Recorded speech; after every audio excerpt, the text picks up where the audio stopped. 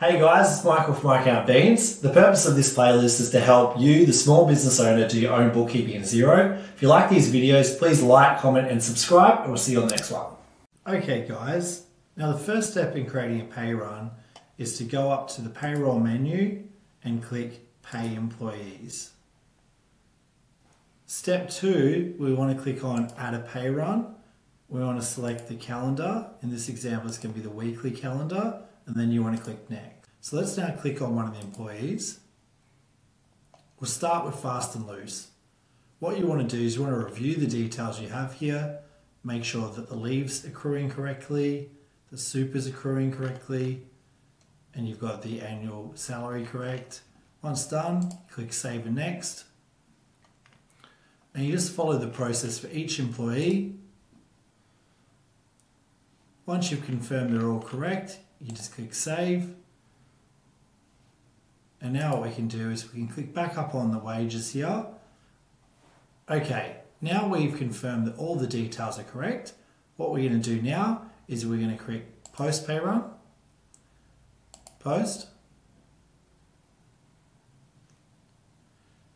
Now what we want to do, that we finalise the pay run, is we want to generate the reports to be able to pay the staff. So click on View Reports Bank Payments Report. Okay, you can see in the bank payments report here, we've got our three employees and their associated bank details. So what we're going to do now is pay these net amounts over here on the right, adding up to 368954, directly from our banking account to the employees. Alternatively, we can use an ABA file.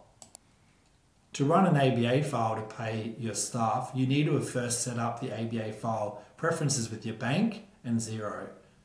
To actually get the file, click on Pay Run Options, ABA file. That then generates an ABA file, as you can see at the top of my screen, which you would then upload to your internet banking, which will then automatically pay these three employees.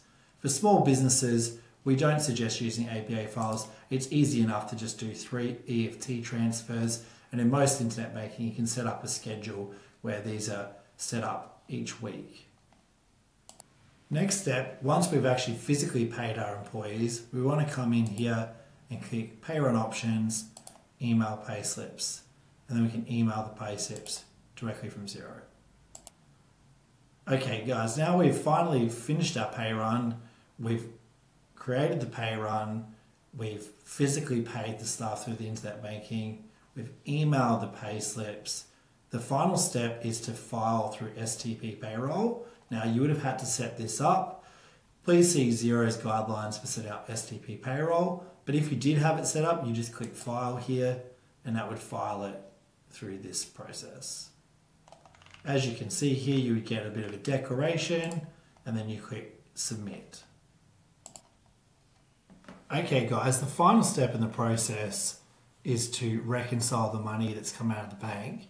What you'll notice here is we have a wages payable balance of 3689.54 on the balance sheet. And that is the journal here for the wages. So when the money comes out of the bank, we need to offset that account.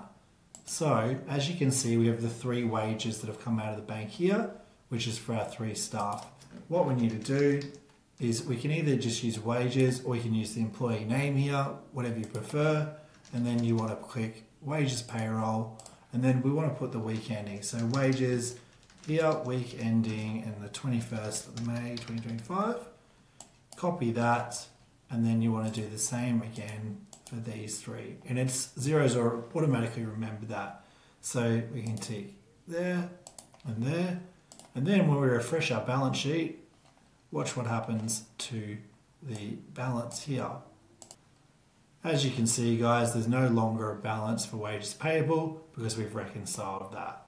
Hey everyone, so that's the end of this process. We've created the new pay run, we've reviewed and edited the employee pay slips, we posted the pay run, we've then paid the employees, we've emailed the pay slips, we've discussed lodging the single touch payroll. Of course, this is a demo, so it's not officially filed as can be seen on the screen. And then finally, we've reconciled the actual physical payment against the balance sheet liability. So, guys, that's the whole video. We hope this was helpful. Hey guys, we hope you enjoyed this playlist. If your business is growing and you're finding it's too difficult to do your own bookkeeping, it's time to call an accountant. We'll leave our website and the link in the description below and we'll have a chat and see if we can help you out.